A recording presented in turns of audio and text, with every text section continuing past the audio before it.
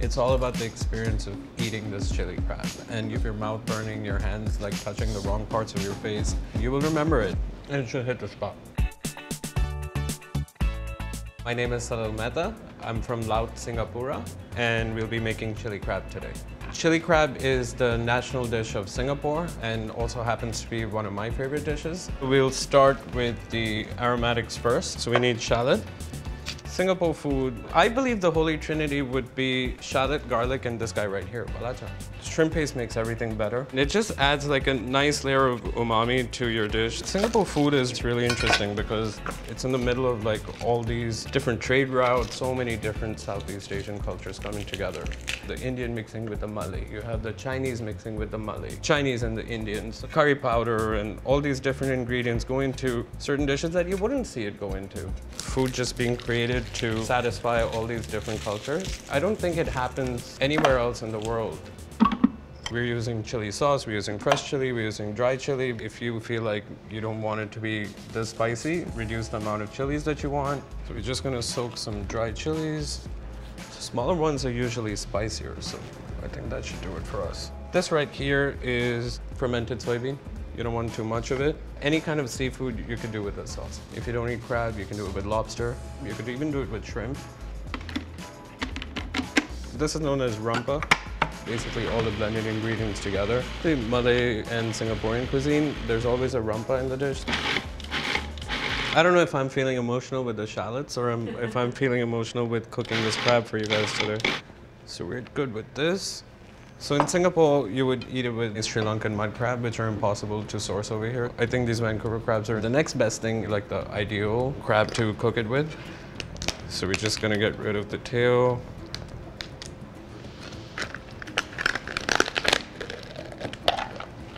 all this stuff, no good. The golden stuff you keep. Get rid of all these sharps.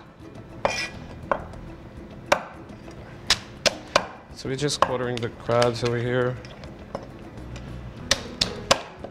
Here I'm just cracking it so that when we cook the rempah and the sauce and everything, all that can penetrate inside the meat.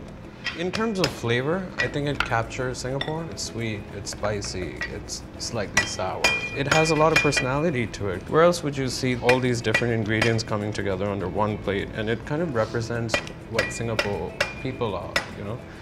It's a mix of everything. This is the soul of Singaporean cuisine. It comes in a little cake like this. A little goes a long way. Don't let the smell scare you away. So now we're just toasting the belachan in here. So at this stage, you'll smell the belachan. So once you start smelling it, we'll, we'll put in the rempah. Don't waste any of it. We're gonna put water in there later and then get everything out. So we're gonna slow cook this for a while. So at this point, you see the colors change. We'll put in the tomato sauce in there. I'm gonna eyeball it. So everything in this cuisine is aga-aga, which means like approximation. If you ask any Peranakan lady or old lady from Malaysia, Singapore, like, how much of this, how much of this? Aga, aga, aga, aga. okay, lads, you know, you just see this much. They never tell you the exact portion because, you know, you're working with dynamic ingredients. So sometimes your chili might not be as spicy as the last time you used it. Your ginger may not be as fragrant. So everything is aga, aga in this cooking. This is your sweet chili. I'm from New Delhi, so there are no Malaysian restaurants where I come from. There's no Singapore restaurants. Chinese food is very different in India. My wife is half Chinese. But her family would take me to Chinatown and everything and introduce me to like real Chinese food. I think the flavors are like very similar to what we would eat back home. We're gonna introduce the crab in there. Just let it soak up all the juices of the rempah. You're making your own seafood stock with the shell in there.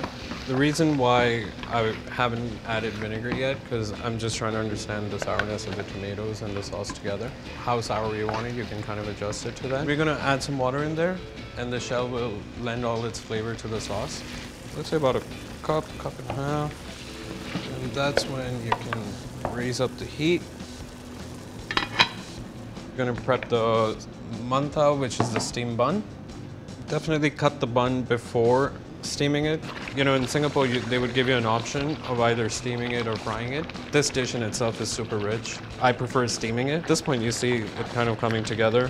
Once the crab has changed its color to like a nice bright orange red, pretty much know it's done. You don't want to overcook your crab either.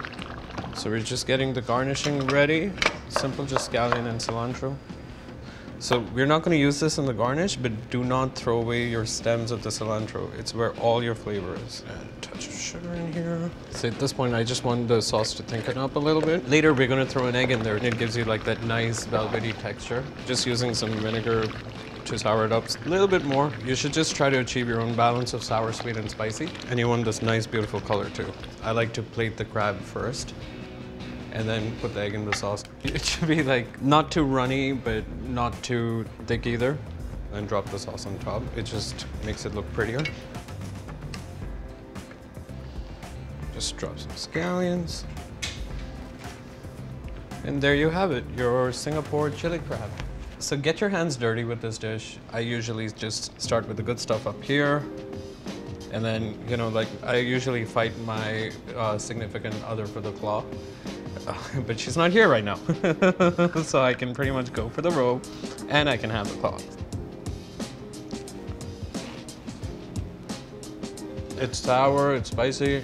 There's a lot of different influences. There's an Indian influence, there's a Chinese influence, there's local Java. So you have all these different cultures coming together and making something beautiful like this. For the recipe, click the link below. Enjoy.